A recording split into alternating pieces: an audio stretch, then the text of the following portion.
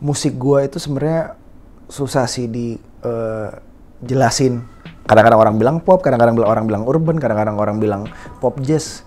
Sebenarnya sih gue bikin lagu apa yang gua seneng aja karena gue juga di eh, ngotak-ngotakin lagu gua malah eh jadi ada ekspektasi gitu loh lagu gua harus jadi apa. Jadi sebenarnya whatever I make lah.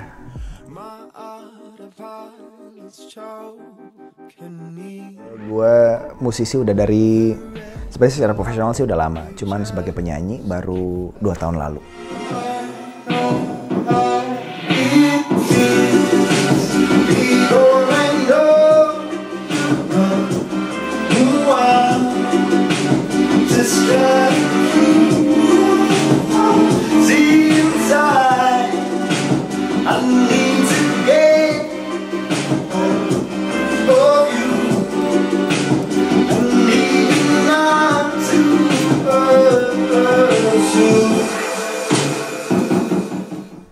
Jadi ego itu sebenarnya single yang terbaru gue rilis itu tentang masalah pribadi gue.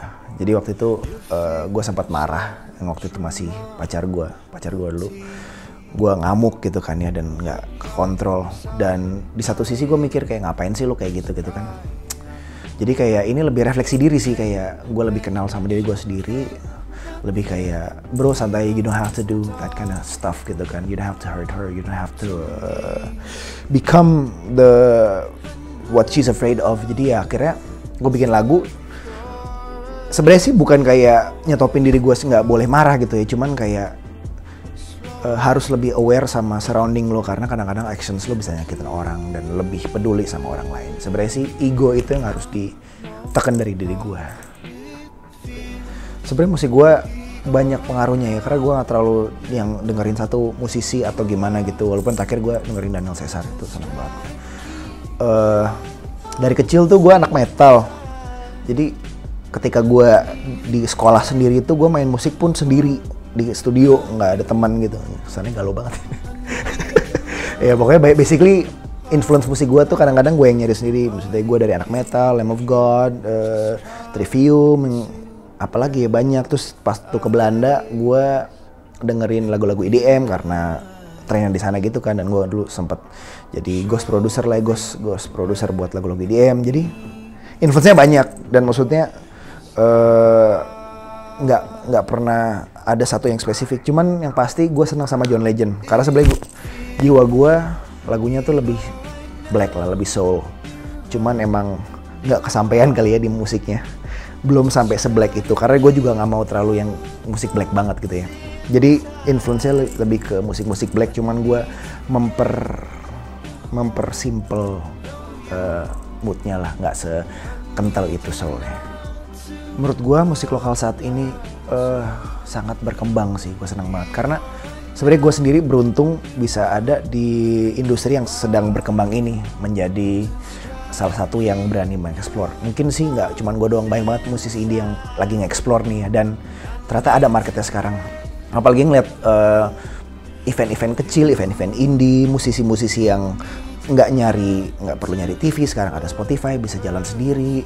Mereka juga punya tim-tim kecil, tapi juga kualitasnya bagus gitu kan ya. Maksudnya baik-baik, baik juga gue kenal kayak anak-anak kuliahan aja.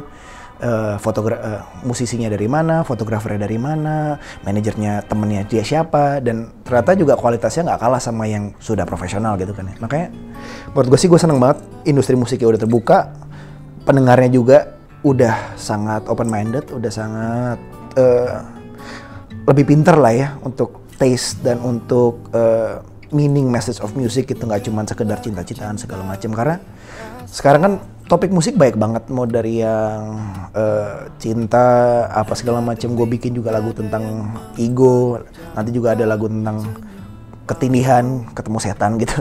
Itu pun juga serandom. Itu pun pasti ada yang relate gitu lah. Kan siapa sih orang Indonesia yang nggak tahu ketindihan atau nggak berketindihan? Nggak tahu lah gue pada ketindihan atau enggak gue sering banget dulu. Tapi maksudnya itu aja tuh bisa jadi story itu bisa jadi something. Jadi makanya sekarang tuh di era digital yang namanya social issues, uh, mental health itu tuh jadi isu-isu penting juga yang bisa di share sama musisi untuk lebih terbuka sama pendengar-pendengarnya. Dan itu sih gue seneng kayak Kunto Aji dengan album rehatnya dia dia bisa terbuka dengan yang kemarin Pilu Membiru dia bisa bikin lagu yang kayak remorse eh remorse apa namanya uh, kesedihan kehilangan orang gitu kan ya terus uh, lagu tentang sosial sosial media si Petra Sihombing gitu ya harus ditakus digital yang gitu-gitu sih menurut gue dan orang-orang aware itu sih lebih menarik dibandingkan lagu-lagu yang karena emang menjual. Jadi Indonesia sih udah udah sudah berkembang dan harusnya bakal lebih berkembang lagi nextnya. Uh, planning ke depan gue sebagai musisi sebenarnya sih masih masih luas ya. Gue nggak pengen cuman sebagai penyanyi atau sebagai musisi karena emang goal ya. Ultimately gue pengen jadi seorang arranger, produser, yang lebih skala yang lebih besar. Sebenarnya sih sekarang masih proses gue untuk mengenalkan diri, Abirama itu siapa, musiknya seperti apa, tesnya seperti apa, dan gue nggak mau mengkotakkan genre gue juga karena uh, eh, gue tahu I'm capable of more than musik gue gitu ya. Jadi sebenarnya sih ini untuk start, untuk explore musik, ke depannya gue akan menjadi seorang musisi yang bisa lebih di respect lah sebagai musisi gitu ya. Karena sebenarnya goal gue kan bukan selain message selain ini sih gue gak ngejar fame atau apa gitu. Gue pengen musik musik gue di respect orang bisa relate sama message gue mau yang dari sesimpel ketindihan sampai seberat yang namanya ego punya masalah dengan egois diri sendiri. Dan akhirnya menjadi musisi yang apa ya punya karya yang bisa dihargai lah itu aja sih.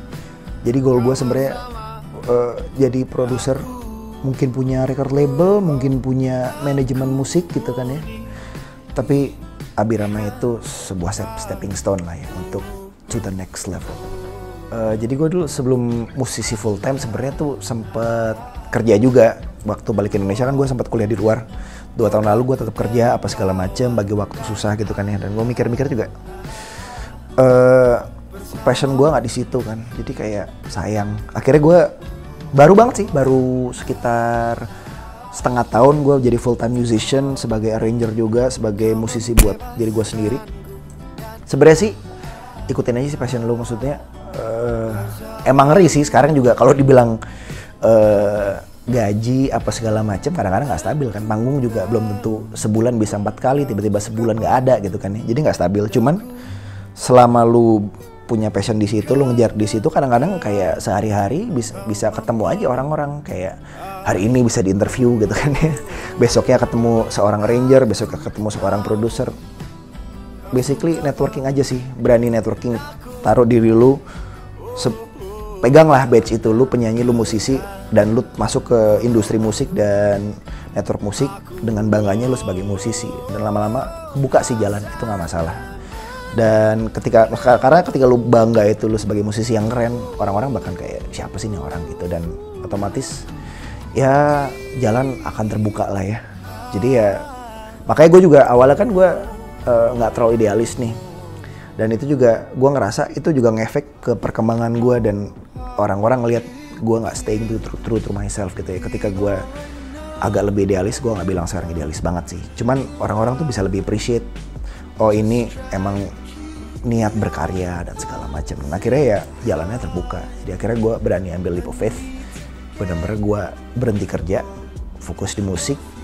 Tapi juga pinter-pinter lah ya maksudnya uh, cari cari duitnya juga apa segala macam bisa dengan karena gue kan arranger gue nyari di luar gue sebagai abirama musisi gue bisa mencari duit di string stabil. Dan mungkin juga kalau misalnya passion lu nggak cuman musik mungkin passion lu masih kayak di dunia desain apa segala macam masih nyatu masih nyambung ya dikombinasiin aja nggak ada salahnya gitu loh. Lo gue nggak menutup diri gue juga sebagai musisi gitu ya cuman memang fokus gue sekarang di musik kalau gue bisa mau collab sama orang sih sebenarnya gue pengen tertarik sama rapper-rapper sih sekarang.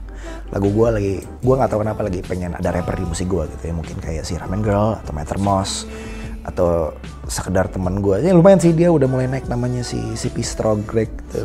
Tapi gue lagi pengen agak nyari yang agak ngeflow gitu kan dengan rap-rap. Terus kalau misalnya dari dulu sih gue pengen penasaran sama Danila sih nggak tahu kenapa gue seneng sama karakter dia dan penjiwaan dia. Dan jager banget kan anaknya kelihatan dari presence social presence ya banyak sih sebenarnya gue pengen collab sampai se Raisanya sampai se Reza Artamevianya juga gue nggak apa-apa gitu.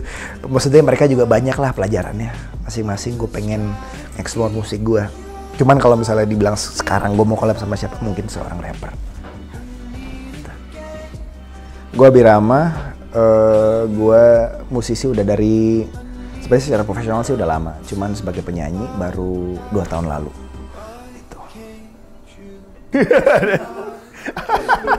Boleh tanya? Apa Mas menjadi host?